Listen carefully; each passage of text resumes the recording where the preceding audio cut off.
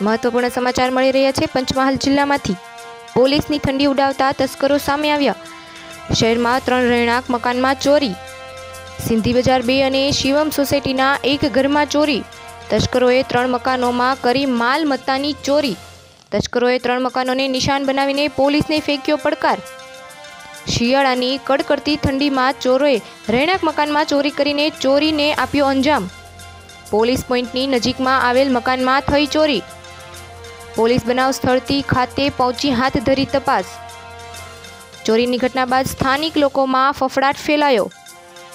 Pritesh Darji, GTV news, Panchmahal.